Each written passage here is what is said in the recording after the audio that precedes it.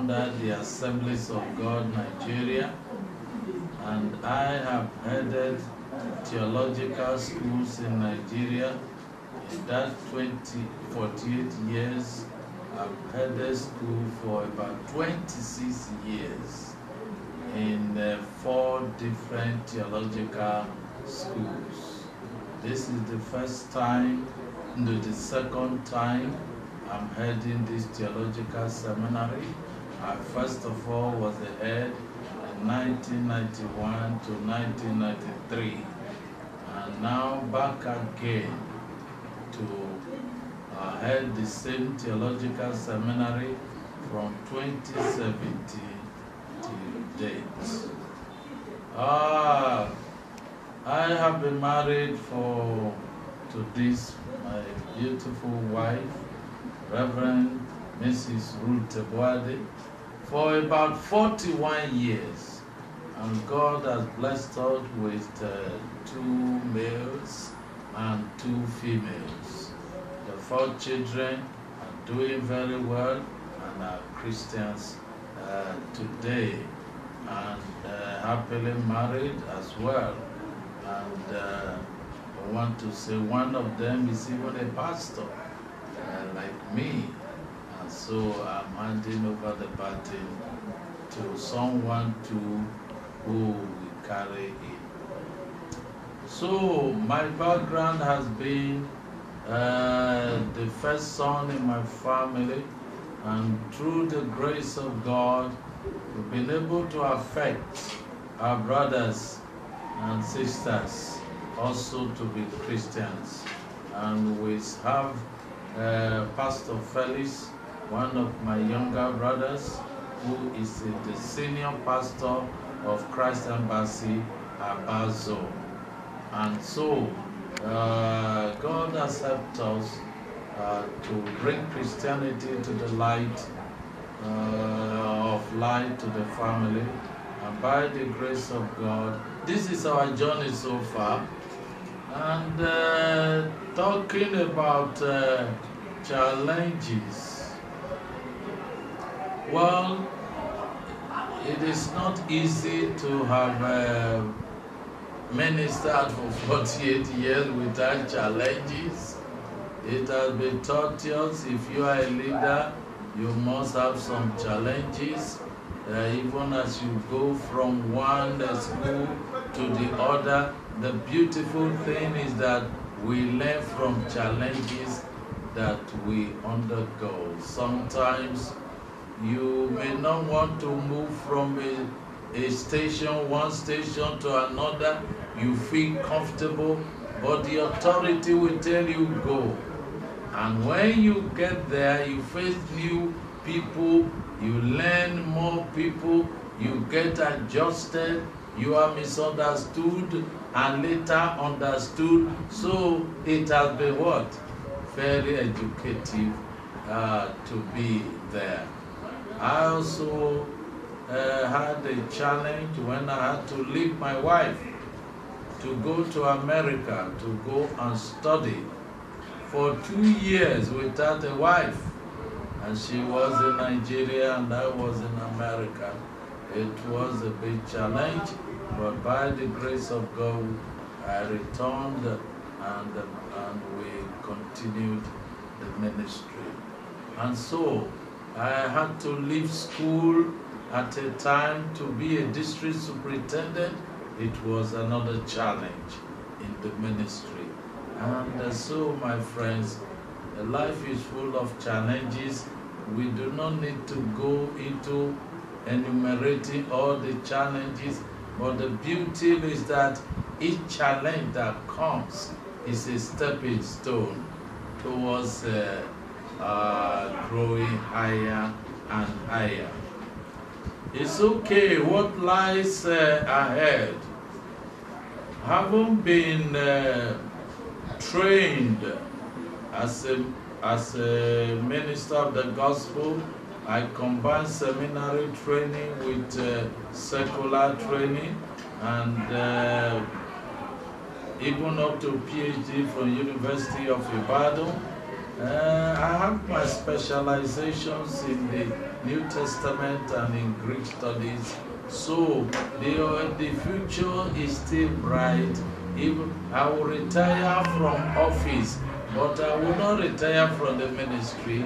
Sometimes I'll be holding seminars and I may be adjunct lecturers in some other nearby theological and other institutions that may uh, need our services. And also, we are trying to raise a younger generation. We want to build a nursery primary uh, school uh, whereby we inculcate certain Christian morals on the younger generation, whereby they, we socialize them into Christian principles, national principles, and otherwise. So by doing that, we will be affected. We shall also organize seminars in music, seminars for pastors on counseling relationship. So I will be praying for good health. Uh, my wife is a specialist in counseling uh, and also in music, and so she will continue to train the choristers all over uh, Edo State there and beyond. She had participated even January now while we are retired, the National Church has said, please, all those pastors all over the country that will be ordained, come and teach them about music before their ordination. So we will be praying for long life and good health to still continue. You retire from office, not really from the work, as God gives us uh, good uh, uh, It's okay. And uh, our advice to the younger what uh, generation of pastors is that uh, whenever you hear somebody is retiring, somebody thinks it's a bed of roses. No, it is not so. We learn to trust God on daily basis. God has been faithful to me. He will be faithful to the younger pastor. We never knew we could have anything. We never even knew we could become anything. But God's faithfulness that took us here will also guide the younger generation. And uh, uh, to my what? Uh, younger ones, as I said in the chapel, Elijah must go, Elisha must take over. The same anointing that rested upon Elisha, Elijah, even greater anointing was on Elisha and greater miracle. I expect the younger generation not to let down the flag of good Christianity. 61 years by this year of age. For those number of years, I would say if I remove But do you look like somebody 61? What If I- has been the secret? So if I say I remove about uh, 12 years or so, let me even say about 10 years out of the 61, you will also see that I have been in the Lord for this number of years because I was born into church because my mother was already a Christian in good standing and she brought us up well in the Lord. What am I trying to say?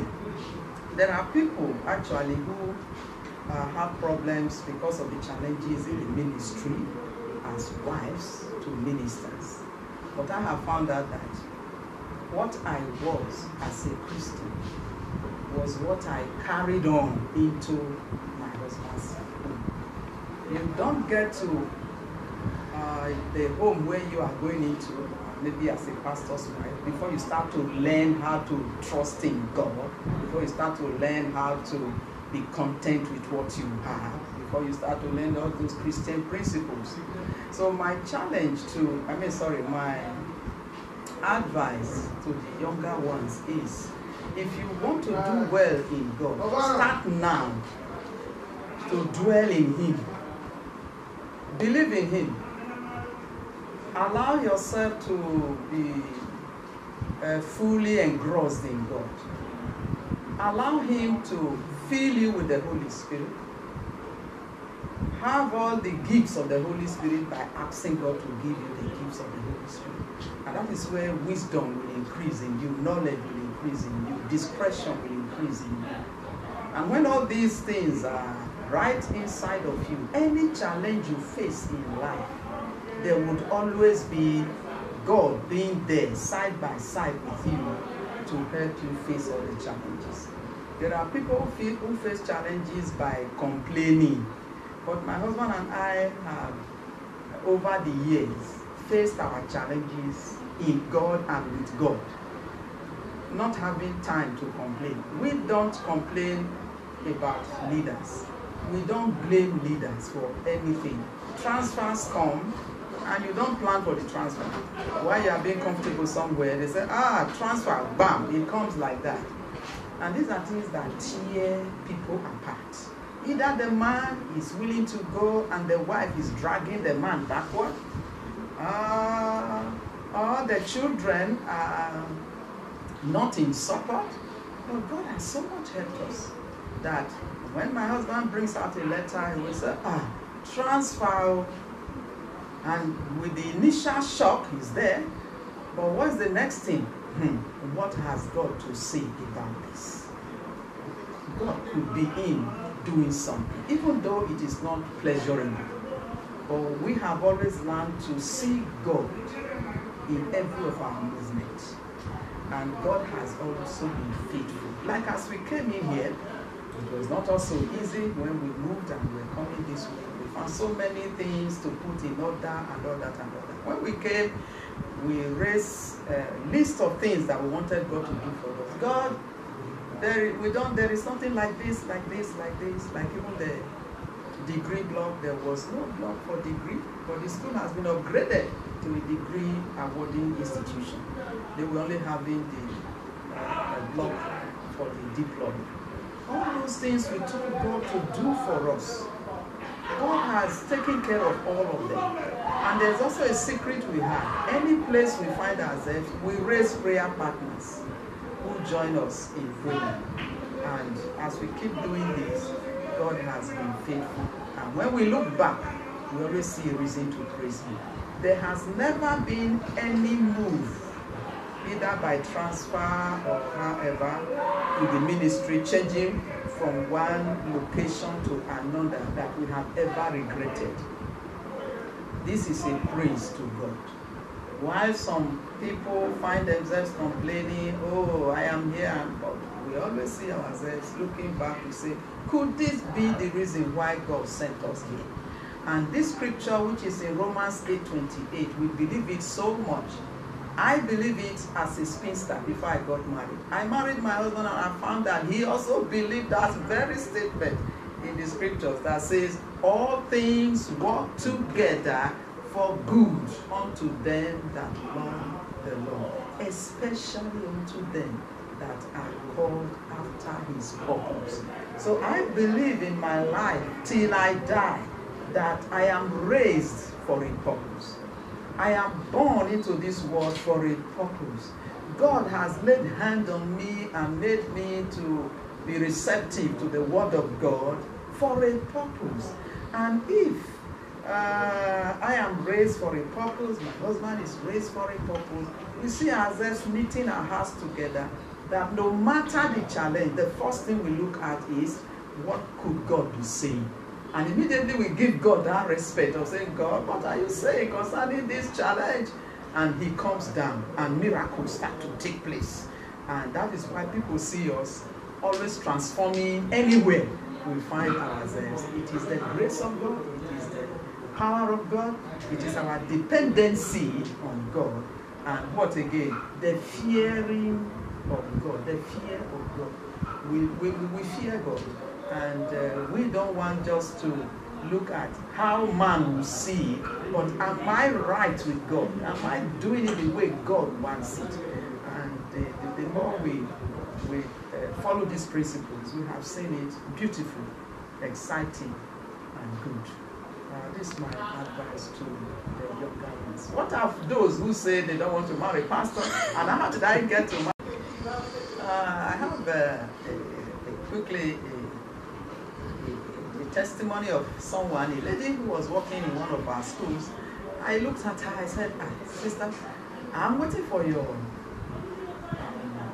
card. Have you not uh, brought card for no engagement?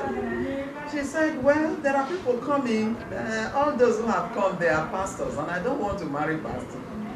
That was where I entered into counseling, as my husband said. then I started counseling. I said, wow, okay. Oh, why don't you want to marry a pastor?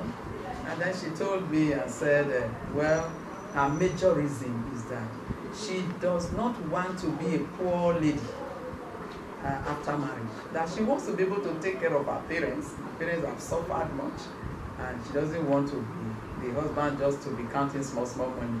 She's not able to take care of her parents. I said, okay. Let me tell you now how to pray. Don't be telling God, I don't want to marry this. You will only pray, God, I don't want to marry an unbeliever, somebody who will be deceitful. So you tell God, Father, give me a husband. May I know that person that you want me to marry. If uh, what I ask of you, Lord, is that after my marriage, I want to be able to take care of my uh, parents with my own husband. Who that person is, is not your problem. If that man turns out to be a pastor, God will design that pastor and make him to be able to join hands with you to take care of your things. God can raise you, even yourself as a lady, and give a good skill in your hand, a profession in your hand. And when you join it also with your husband, you'll be able to take care of your parents. And you know beautifully, that lady is doing very well now in um, Delta State. It wasn't too long. One man who spoke to her several times before and she said no. As she bent her head and she was almost weeping that day, I prayed for her. She went home. She came back smiling and said, two weeks later after that counseling, that very man, one of them, who had been talking with her, and she now said, okay, called again. And immediately that man called and said, I have come to find out whether you are convinced, but if you are not convinced, then I go and look for somebody else. That was how the lady burst into tears and now got married to that man. And they are doing powerfully well, able to take care of her parents and doing more than what they had ever thought. So it is not the issue of the name pastor it is the issue of who that pastor is, the inner being of the man. And that is why I love my husband now and ever. That I found in him a man that is not deceitful, a man that loves the Lord, a man that fears God, a man that respects the Holy Spirit. And he's a pneumatologist he talks much and much about the Holy Spirit. And that is also how I am. When uh, before you mm. came to my house, mm. you were a grade two teacher. Thank you. You were a grade two teacher, and uh, you came to my house. From my house, you, you had your NCE, NCE. BEd, and then from my house and even went along uh, the train they gave me the Bible school, the Bible school till I became a. Um, so at first you thought I was, uh, they thought I would not have money to take care of us, okay. But since you came to my house, have you received more salary than myself? And God has been faithful in that. Never. And God so did it that uh, he, you mean you can get it small, small, small, small. When she's growing, she was in the secular school for 22 years. Uh-huh. If not 23, sir. So even while she was there, was in the church, God kept doing it so that the shame they were thinking a pastor cannot take care. And I took care of her even till date. She has not been able to earn more than myself. So that is a way of saying, take all those years away. God knows how to take care. Be faithful to God and He will take care of you. And may I quickly add this? Um, before I got married, as I was convinced to marry my husband, there was a challenge that came into my heart. As a grade two teacher, already as a young girl teaching in government school, the challenge was, huh, they say pastors don't earn much money, that uh, they live by the care of God and by the care of other people as God lay hands on other people to take care of them. They don't have specific salary Scale. or they don't have a scale of salary. Then immediately that came into my spirit as I was the type who always consult God and talk with God you know, regularly. I just went into prayers and said, God, I said it to God. I said, ah, God, this is my challenge now. And the Holy Spirit returned an answer quickly to me and said, Look at the colleagues with, whom- with whom you are teaching in that primary school. Only two of you are females in that school, all others are males. With the same salary you are earning that was very small that time. How much was it? 120 naira. Uh-huh. 129. 129 naira. With that amount of money, those who are males are using that money to take care of their wives that have no job for any, any anything, any reason. So, but you are earning something. Then immediately I got the the meaning of what the Lord was telling me. It wasn't I said, oh, okay, which means when I get to that home, my 129 naira, I will submit it to my husband, and then with the little thing he has, I didn't even think he will earn as much. With the little thing he has, we will journey together. We'll be able to take care of our family. This was the joy with which I entered into his home. And I knew that God saw that satisfaction. That I wasn't bothered about how much was he earning, and so, so, so. Immediately I entered into that room and I made this statement to my husband. When he earned his salary, his salary was 200 naira. No, 150 at that time. Okay, 150. All right. Higher than your own. Okay, mine was 129. 129 naira and his own was uh, what? 150 naira. As I had the mind that I would submit my money, himself also had the mind of submitting even his money also to the wife and said, see my the money that I received this month. As I looked at it, I said, oh, so you people can receive money like this? So from the beginning, I didn't over estimate my husband. I I went in with with what? Uh, not, not having an over expectation. And those are the things that crumble young ladies when they enter into their husbands, whether the person is a pastor or not.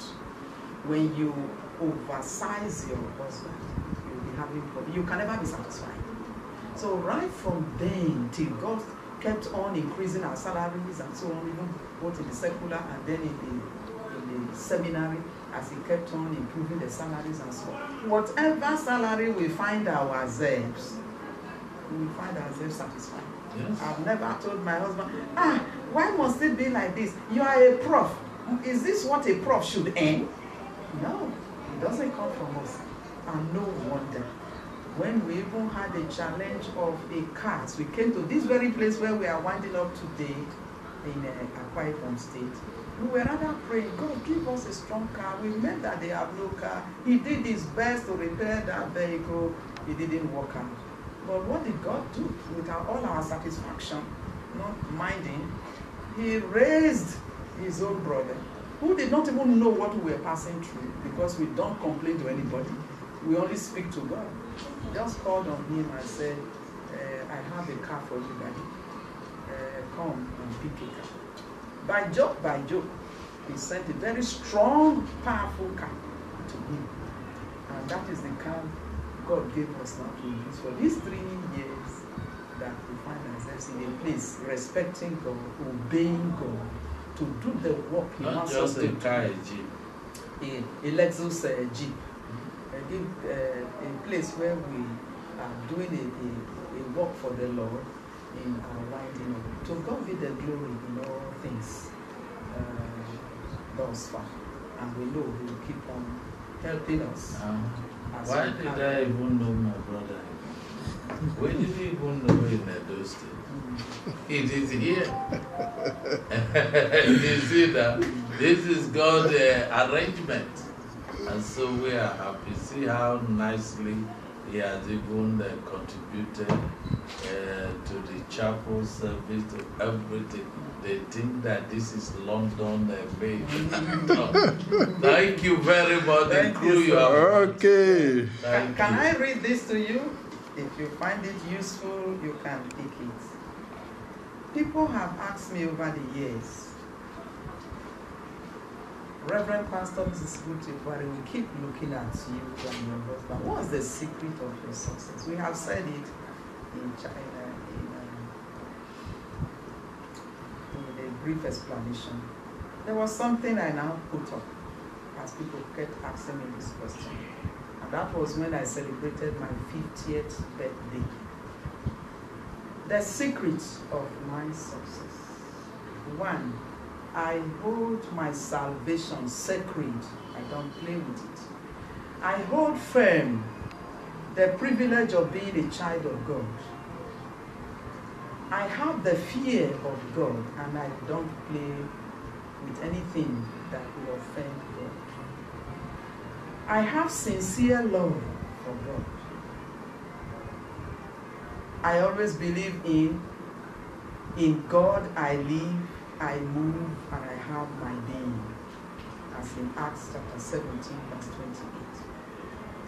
I believe in not I that live, but Christ that lives in me. And I believe in never by might nor by power, but by the Spirit of God.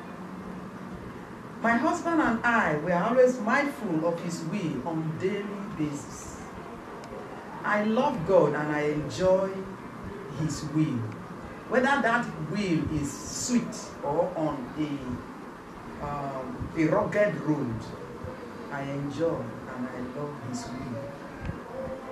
Always believing and watching for God's will, which makes all things work together for my good. I believe in the Paracletos factor, the Holy Spirit working side by side with me. Being conscious in His person, never wanting to grieve the Holy Spirit. Ephesians 4 30.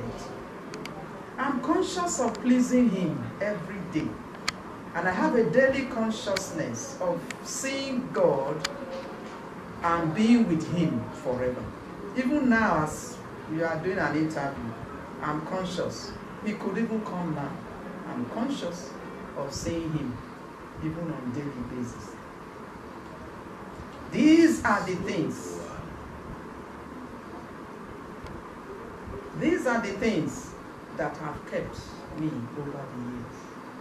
My slogan, when loaded with much of responsibilities, even with me and my husband, is Oh God, face all the challenges that face us today, even in new stations. At the end, we get surprised that God has perfectly and beautifully attended to all those challenges that face us. Jesus, we believe, He prays for us even when we cannot pray.